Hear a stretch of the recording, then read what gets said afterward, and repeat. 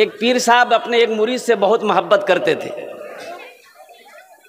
तो और जो कुछ मुरीद थे, उन लोगों ने सोचा, भाई, मुरीद तो हम लोग भी हैं, लेकिन हज़रत इससे बहुत ज़्यादा प्यार करते हैं, इससे बहुत ज़्यादा मोहब्बत करते हैं, हम लोगों से क्यों नहीं करते? ये बात पीर साहब को पता चल गई कि कुछ लोग इससे जल रहे हैं।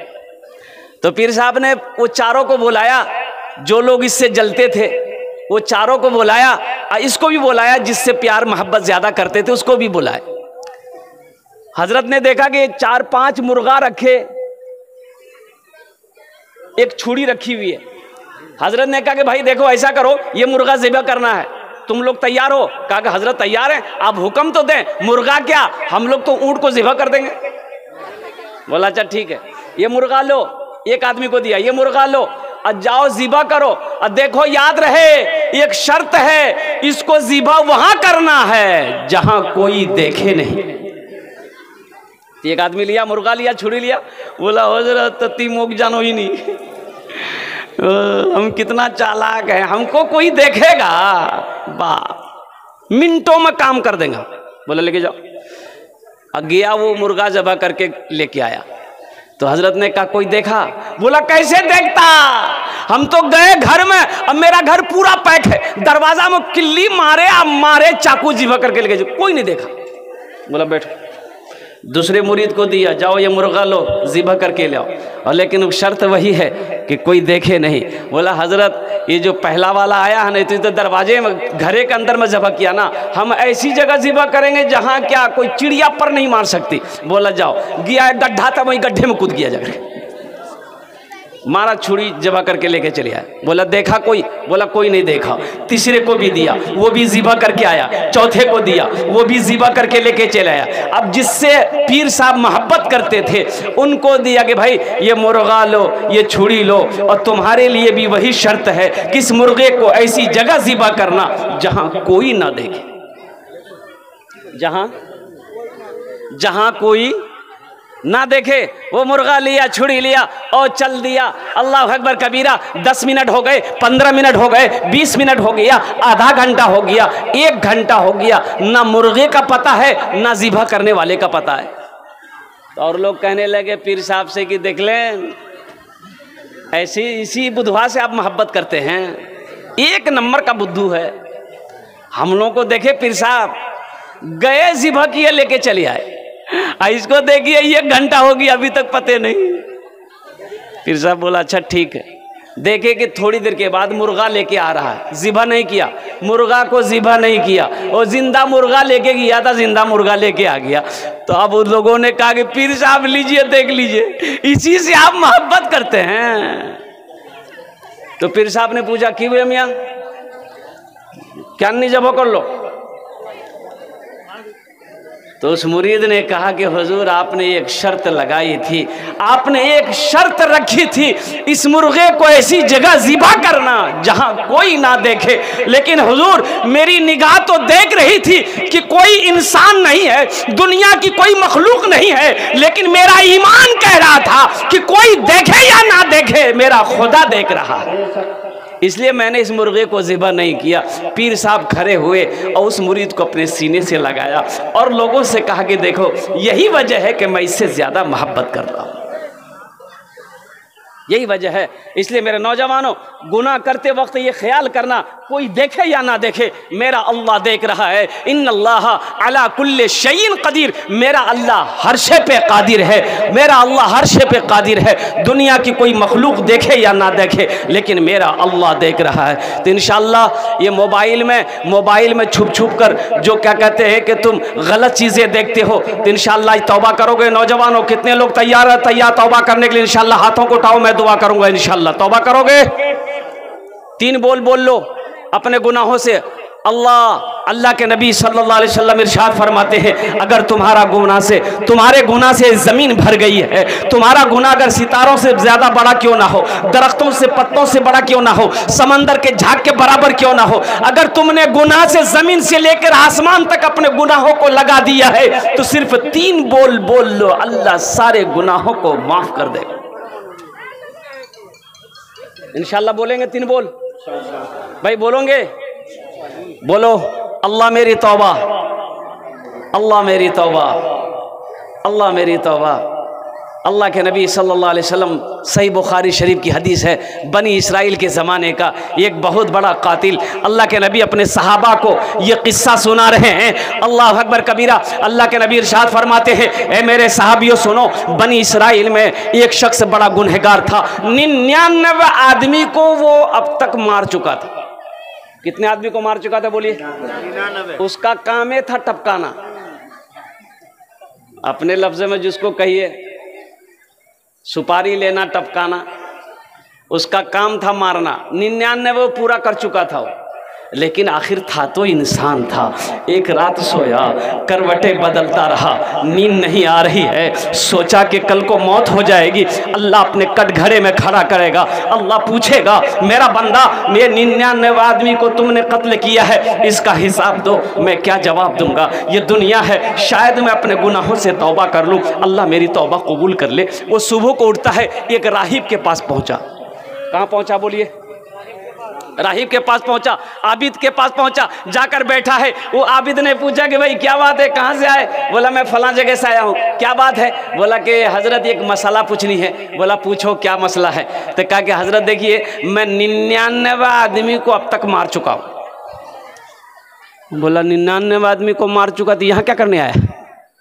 बोला, नहीं, मसाला यही है कि अब मैं तौबा करना चाहता हूँ। क्या मेरी तौबा कबूल होगी? तो उस राहिब ने कहा, शर्म करो, हया करो। निन्यानवे आदमी को मार के तौबा करने आया है। तेरी तौबा हरगिज कबूल नहीं होगी। बोला अच्छा नी है बे बोला नी है बे अच्छा नी है बे निकाला तलवार। बोला, जब तौबे कबूल नहीं होगी तो निन्यानवे कह रहेगा, हम सौ कहन पूरा करेंगे। मारा राहिब के गर्दन में, उस गर्दने उड़ा दिया उसका। कितने हो गए भाई? सेंचुरी पूरी हो गई। फिर कुछ महीने गुजरे। आखिर इंसान था। वो सोचा कि नहीं किसी आलिम से मैं मसाला पूछूँगा। कई दिनों के सफ़र करने के बाद एक आलिम के पास पहुँचा सामने बैठा। उस आलिम के पास में आलिम ने नज़र उठा के, निगाह उठा के देखी तो कहा, भाई, कहाँ से आया? बोला, मैं फला जगह से आया हूँ, लंबी सफ़र करके आया हूँ, एक मसाला पूछनी है। बोला हाँ हाँ पूछो, क्या मसाला है? कहा कि, हज़रत, मैं सौ आदमी को अब तक मार चुका हूँ। बोला अच्छा अब क्या इरादा है? बोला हज़रत अब इरादा यही है कि मैं अपने गुनाहों से तोबा करना चाहता हूँ। क्या अल्लाह मेरी तोबा को कबूल करेगा? उस आलिम ने कहा हाँ हाँ तोबा का दरवाज़ा खुला हुआ है। अगर तू अपने गुनाहों से तोबा करेगा, मेरा अल्लाह तेरी तोबा को अपनी बारगाह में कबूल फरमा लेगा। सुबह अल्लाह बोले था माशा वो शख्स बड़ा खुश हुआ कि मेरी तौबा कबूल हो जाएगी, लेकिन कुर्बान जाओ। वो उस आलिम ने कहा कि लेकिन तेरी तौबा यहाँ कबूल नहीं होगी। वो जो बस्ती देख रहा है, कहा कि हाँ देख रहा हूँ। कहा कि उसी बस्ती में चला जा। दीन के दाई लोग रहते हैं, तबलीग वाले लोग रहते हैं, अल्लाह वाले लोग रहते हैं, मुत्तकी परहेजगार लोग रहते हैं। उनकी सोहबत में चला जा। उनकी सोहबत में रहकर तौबा कर ले। अल्लाह तेरी तौबा को कबूल कर लेगा। बड़ा खुश हुआ, जैसे उस बस्ती से निकला उस बस्ती से जैसे निकला, आलिम से मिलकर जैसे निकला, कुछ कुछ कदम चला होगा, ठोकर लगी। ओलमा फरमाते हैं कि मुँह के बल गिरा, मुँह के बल गिरा। उठना चाहा, उठ ना पाया।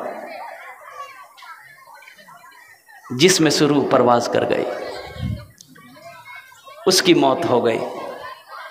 सफ़र है लंबा, कोई साथी नहीं मिलता। अकेला है दूल्हा, कोई बाराती नहीं मिलता। अकेला है दूल्हा, कोई बाराती नहीं मिलता। जन्नत के फरिश्ते आ गए और जहन्नम के भी फरिश्ते आ गए। जहन्नम के फरिश्ते कहने लगे, ये सौ आदमी का कातिल है, इसे मैं जहन्नम में लेकर जाऊँगा। जन्नत के फरिश्ते कहने लगे, ये सही है, सौ आदमी को इन्होंने मारा है, लेकिन ये तौबा करने जा रहा था, इसे इसलिए मैं जन्नत में लेकर जाऊँगा। ओलमा फरमाते हैं कि दोनों फरिश्ते जहन्नम और जन्नत के फरिश्ते में बहस होने लगी। वो कह रहा, जन्नत में ले जाएँगे? वो कह रहे हैं कि, जहन्नम में लेकर जाएँगे। अल्लाह ने तीसरे फरिश्ते को भेजा। आह, तीसरे फरिश्ते को भेजा कि उन दोनों से कह दो, आपस में बहस ना करे। ज़मीन को मापो। वो जिस बस्ती से निकला है, उसका जिस्म अगर उस बस्ती से करीब है तो वो जहन्नम में जाएगा। और जो बस्ती तोबा करने जा रहा था, अगर उसके जिस्म से वो बस्ती करीब है, वो जन्नत में जाएगा। तो अभी तो वो बस्ती तो बहुत दूर थी, जहाँ तौबा करने जा रहा था, वो तो बहुत दूर थी। अभी तो इस बस्ती से निकला ही था कि ठोकर लगी, इंतकाल कर गया। अब ये बात वो जन्नत में गया कि नहीं गया? वो जन्नत में गया कि नहीं गया? ये बात मैं लास्ट में बताने की कोशिश करूँगा। दिल जमी के साथ इतमान और सुकून के साथ आप यहीं पर बैठे इन एक बादशाह ने सवाल किया। भाई, एक बादशाह ने सवाल किया, मजमे से अवाम से पब्लिक से सवाल किया कि भाई जो मेरे सवालों का जवाब देगा, हम उसको इनाम देंगे। जो मेरे सवालों का सही जवाब नहीं देगा, उसकी गर्दन उड़ा दी जाएगी। बादशाह खड़ा हुआ, बादशाह खड़ा हुआ और पूछने लगा लोगों से, लोगों, बताओ मेरे सवालों का जवाब देने के लिए कौन तैयार हो? लेकिन कोई तैयार नहीं। कोई खड़ा होने को तैयार नहीं। लोग आपस में बात करने लगे कि मियाँ, ये बादशाह नहीं दिमाग से खोपड़ी, छिट खोपड़ी से उल्टा पुल्टा सवाल कर तो सही जवाब नहीं दी वो जान से ख़त्म करे तो ज़िंदगी बचे जावे, दिल्ली खटे खा लूँ कोई नहीं उठा। एक नौजवान उठा, बोला कि हाँ बादशाह साहब, आपके सवालों का जवाब हम देंगे। सवाल तो कीजिए आप। तो बादशाह ने कहा कि सोच लिया है तुमने? कहा कि मैंने सोच लिया जो होगा देखा जाएगा। आप सवाल तो करें। तो बादशाह ने कहा कि मेरा पहला सवाल है कि मेरी हथेली में बाल क्यों नहीं? भाई, क्या सवाल क्या बोलो? मेरी हथेली में बाल क्यों नहीं है? आदमी बड़ा चालाक था, आदमी बड़ा होशियार था, आदमी बड़ा चतुर नौजवान था। इन्होंने कहा कि, हुजूर, दरअसल बात यही है कि आप बहुत सखी हैं, बहुत दयालु हैं, दान, पुण्य, सदका, खैरात बहुत करते हैं, इसलिए देते देते सब बाल घिस गया। देता कुछ नहीं था बादशाह। तो अपनी तारीफ़ सुनकर बड़ा खुश हुआ। वज़ीर से बोला कि, यहाँ की इनाम दे मियाँ, बहुत अच्छा आदमी है इनाम दे। बादशाह ने कहा मेरा दूसरा सवाल, और मेरा दूसरा सवाल है कि ठीक है दान पुण्य सदका खैरात करते करते मेरी हथेली का बाल ख़त्म हो गया, घिस गया है, मेरा दूसरा सवाल है कि तेरी हथेली में बाल क्यों नहीं है? अल्लाह अब तो मी फंसेगी नूरी मी। की जवाब दूँ? तो बोला कि हजूर, दरअसल बात यही है कि आप जो कुछ भी देते हैं, हम ही को देते हैं। देता कुछ नहीं था। आप जो कुछ भी देते, हम ही को देते हैं। इसलिए आपका देते देते देते देते घिस गया। अब मेरा लेते लेते घिस गया है। बोले, वो बहुत अच्छा जी बहुत अच्छा जवाब दिया। यहाँ इनाम दे इनाम दे इनाम दे इनाम दे दिया। बादशाह ने कहा मेरा तीसरा सवाल है कि ठीक है, मेरा देते देते घिस गया। तुम्हारा लेते लेते घिस गया। ये हज़ारों का जो मजमा है, इनकी हथेली में बाल क्यों नहीं है? बोले, बाप रे बाप, आप तो नहीं चाहिए बोल भाई, इनकी हथेली में बाल क्यों नहीं है? तो ये वो नौजवान ने कहा कि, हुजूर, दरअसल बात यही है कि आपका देते देते घिस गया, मेरा लेते लेते घिस गया इन लोगों का अफसोस से हाथ मलते मलते घिस गया। अल्लाह हाँ अच्छा ठीक है यहाँ के इनाम दे मियाँ। इनाम दे इनाम दे। वज़ीर को बोला, यहाँ के इनाम दे। वो इनाम दिया गया। अब अब अब अब बादशाह ने कहा, भाई, चौथा सवाल। बादशाह का चौथा सवाल क्या था? उन्होंने क्या जवाब दिया? मैं लास्ट में बताने की कोशिश करूँगा। अल्हम्दुलिल्लाह, सुम्मा अल्हम्दुलिल्लाह मोज़ सामीन किराम, ये मस्जिद का जलसा है। मस्जिद किसका घर है मेरे भाई? बोलो, कितने, किसका घर है? बोलो। अल्लाह का घर है। वह अल्लाह, जिसके कब्ज़े में हम सब की जान है। वह अल्लाह, जो हमें इज़्ज़त की रोटी खिलाते हैं, मीठी नींद सोलाते हैं, फिर अल्लाह में मीठी नींद सोला कर जगाते हैं, अल्लाह खिलाकर सोलाता है। और कुर्बान जाइए। वो अल्लाह, जिन्होंने बेशुमार नेमतों से नवाजा है, फिर वो अल्लाह एक दिन मौत देगा। फिर यहाँ से आप जाओगे तो मेरा अल्लाह पूछेगा, मेरा बंदा दुनिया से आया है, मेरे लिए क्या लाया? मेरे लिए क्या लाया है? तो इनशाला यहाँ से कुछ लेकर जाएँगे मेरे भाई? भाई, लेकर जाएँगे इनशाला कितने लोग तैयार? हाथ उठाओ इनशाला लेकर जाएँगे यहाँ से। क्या लेकर जाएँगे? मैं लास्ट में बताने की कोशिश करूँगा, यहाँ से लेकर क्या जाना है? और कुर्बान जाइए कौन से अमल करने हैं जो अल्लाह को सबसे ज़्यादा महबूब हो? अल्लाह को बेानतहा मोहब्बत हो। अल्लाह अकबर, कबीरा, कुर्बान जाओ मोज़ मस्जिद, इस धरती पर सबसे पहली मस्जिद, सबसे पहला अल्लाह का घर खाने काबा। कौन सा है बोलिए? अच्छा खाने काबा कोछा है? मक्का छे। मक्का, मक्कार पहला नाम की? मक्कार पहला नाम छे बक्का। बोलून तो की नाम छे? बक्का। बोलो, क्या नाम है बोलियो? अरे बोलो ना भाई। भक्का। बोले, भक्का बगिया खोजो। भक्का नहीं रे, भक्का नहीं रे बक्का बक्का। इन्ना अव्वला बैतियों उदियाल इन्ना से लल्लगी बेबक्कता मुबारकों वो हुदलिल आलमी अल्लाह का पहला घर बक्का है। हज़रत आदम सलाम जन्नत से नीचे तशरीफ़ ज़मीन पर तशरीफ़ लाए, अल्लाह ने हुक्म दिया, मेरा आदम मेरा घर बनाओ। देखिए, अल्लाह को अल्लाह को, अल्लाह की निगाह में सबसे प्यारी जगह कौन है? अल्लाह के नबी सल्लल्लाहु अलैहि वसल्लम तशरीफ़ फरमा बैठे हैं। एक सहाबी ने पूछा, या रसूल अल्लाह दुनिया में सबसे अच्छी जगह कौन सी है? दुनिया में सबसे अच्छी जगह कौन सी है? अल्लाह के नबी जनाब मोहम्मद रसूलुल्लाह सल्लल्लाहु अलैहि वसल्लम खामोश हैं कि हज़रत जब्राईल सलाम तशरीफ़ लाए। तो अल्लाह के नबी ने इरशाद फरमाया कि जब्राईल दुनिया में सबसे अच्छी जगह कौन सी है?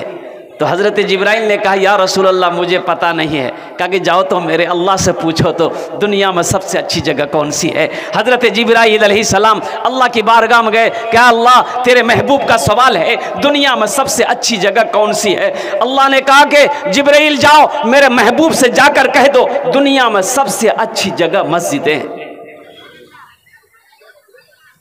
सबसे अच्छी जगह मस्जिदें हैं, सबसे खूबसूरत जगह मस्जिदें हैं। अल्लाह के नबी आगे इरशाद फरमाते हैं कि सबसे अच्छी जगह मस्जिदें हैं, सबसे बुरी जगह बाज़ार है। इंशाल्लाह मस्जिदों को आबाद करेंगे मेरे भाई। भाई, मस्जिदों को आबाद करेंगे। अच्छा मस्जिदों को आबाद कैसे करेंगे? मस्जिदें आबाद कैसे होगी? हमको भूख लगती है, हम खाना खाते हैं, हमें भूख लगती है, रोटी खाते हैं, भूख लगती है, चावल खाते हैं, भूख लगती है, हम दूध पी लेते हैं, हम खाना खा लेते हैं, भूख मिट जाती है तो मस्जिद का भी पेट है। मस्जिद का भी पेट है। मस्जिद का पेट है तो मस्जिद का पेट कैसे भरा जाएगा? मस्जिद का खुराक कौन सा है? मस्जिद की गज़ा क्या है? मस्जिद का खुराक है नमाजी। जब नमाजी मस्जिद के अंदर में दाखिल होता है तो मस्जिद की पेट भरता। इनशाला मस्जिदों को पेट भरेंगे मेरे भाई? मस्जिदों को आबाद करेंगे। हाथ उठाओ इनशाला वादा करो। अल्हम्दुलिल्लाह। अच्छा वादा तो हम लोग कर लेते हैं, लेकिन पूरा नहीं कर पाते। वादा तो हम लोग कर लेते हैं, लेकिन पूरा नहीं कर पाते हैं। मस्जिदों का पेट, एक बात याद रखिएगा, कुर्बान जाइए। हज़रत नू सलाम के ज़माने में तूफ़ान आया। खाने काबा की दीवारें गिर गई। खाने काबा की दीवारें गिर गई। हज़रत इब्राहिम सलाम, हज़रत इस्माइल सलाम को अल्लाह ने हुक्म दिया, मेरे इब्राहिम, मेरे घर की तामीर करो। और तूफ़ान नू जो आया था ना, बड़ा ज़बरदस्त तूफ़ान था, सारी दुनिया ख़त्म हो गई। ऊपर से पानी, नीचे से पानी। अब वो कौम इतनी ढीठ कौम थी, कौम नू कि पैगंबर की कोई बात मानने को तैयार नहीं, अल्लाह की वहदानियत को पहचानने के लिए तैयार नहीं।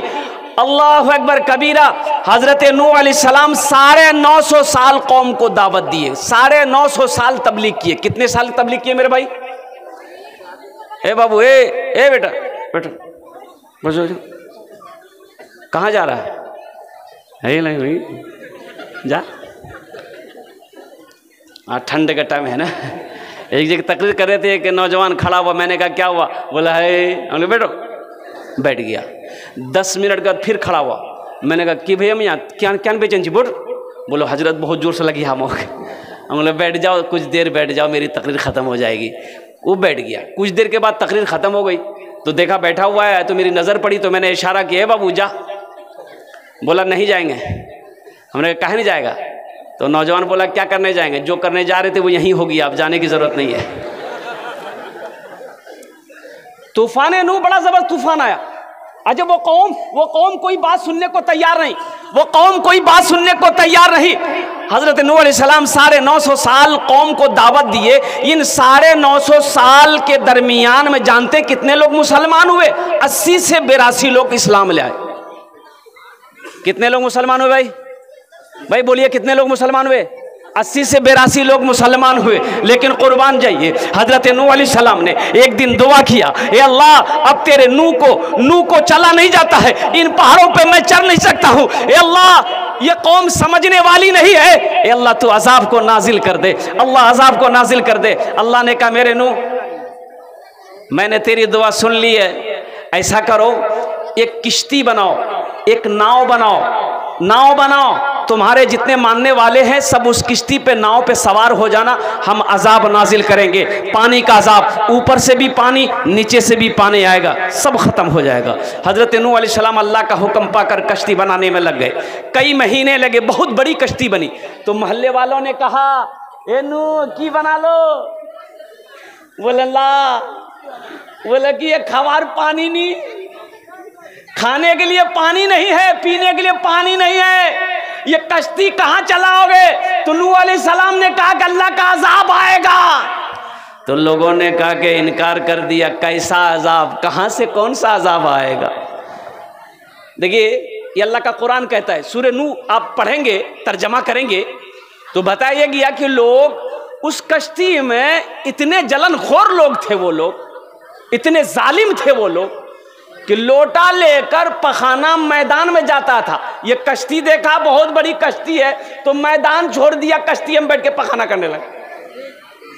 देखते देखते एक दूसरे को देखा, तीसरा, चौथे को देखा, पांचवा, छठे को देखा। देखते देखते पूरे मोहल्ले वाले का वो वो पखाना खाना वही बन गया। एक हफ़्ता में भर दिया, पूरी कश्ती भर दिया। एक बूढ़े मियाँ हज़रत नू अली सलाम जब ये देखे, आँखों से आँसू आ गया। रब की बारगाह में दुआ करी, मौला, ये तेरी कौम है, मैंने किश्ती बनाई, नाव बनाया, इन लोगों ने गंदगियों से भर दिया है। अल्लाह ने इरशाद फरमाया, मेरे नू अपनी आंसुओं को पोछो। इन लोगों ने इस नाव को गंदगियों से भरा है, पखाने से भरा है। अगर इन्हीं के हाथों इन पखानों को मैं साफ़ ना करवा दूँ तो खुदा मेरा नाम नहीं।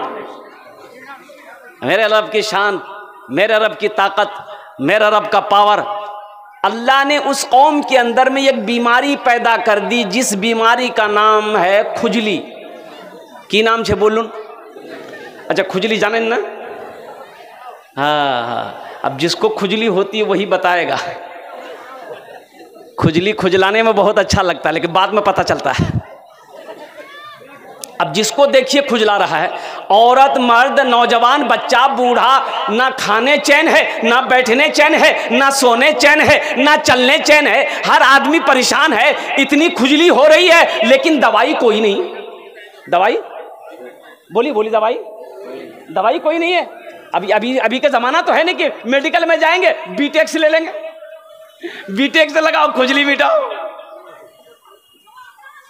एक बूढ़े मियाँ लोटा लेकर गए, और वो बहुत तेज़ी में थे। वो नाव में तो जगह जगह तो थी नहीं, पहले से फुल था नाव पखाना से। वो किनारे में ऊपर में किनारे में बैठ गए, पखाना करने लगे। खुजलाहट जो उठाना वो ज़ोर से जो खुजला बैलेंस से गड़बड़ा गया पखाने में गिर गया। अच्छा पखाने में गिरा तो जहाँ जहाँ पखाना लगा, खुजली खत्म। बोले रे मियाँ, ये तो बहुत अच्छा दवा जी खुजली खत्म। अच्छा दी मेरे रब की शान देखो। उस पखाने के अंदर में वो तासीर थी कि पखाना खुजली की जगह लगता था ना, खुजली खत्म। ये आदमी देखा, माँ, यहाँ खुजले मुडली खुजला अरे वाह ये लगा हुई एक नंबर दवाई सही वो बुढ़वा उठाया, हाथ में उठाया। और जहाँ जहाँ खुजला रहा था, पूरे बदन लगा लिया। और जैसे लगाया खुजली खत्म। बड़ा खुश हुआ, कश्ती से बाहर निकला, मोहल्ले वाले को बुलाया कि, मियाँ, दौड़ो। तो लोगों ने दौड़ा, बोले, की भैया? बोले, बाबा, खुजली दवाई मिले गई है। बोले, खुजली की दवाई मिल गई? कहा? जल्दी बोलो, हम लोगों को भी परेशान, हम लोग भी परेशान है, हम लोग भी लगाएँगे। वो बूढ़े मियाँ ने बताया कि खुजली की दवाई यही पखाना है, उठाओ पखाना, लगाओ पखाना। ये एक नंबर दवाई। अब लोग लगाना शुरू किए। कुछ नौजवान तो अपने घर से बर्तन लेके भी दौड़ रहे थे कि मोर बाप बीमार जे नहीं चलवा सको। थोड़ के मोक दे दे लगनते मी घरे जे बाहर लगे दूँगे। देखते देखते पूरी कश्ती साफ़ हो गई। जो बाद में आया, पखाना नहीं मिला, वो कश्ती को धोता भी था, लगाता भी था और पीता भी था। और कुर्बान जाओ, गैब से आवाज़ आई, मेरे नू देखा, मैंने कहा था ना ये इन पखाने को इन्हीं के हाथों साफ़ ना करवा दूँ तो खुदा मेरा नाम नहीं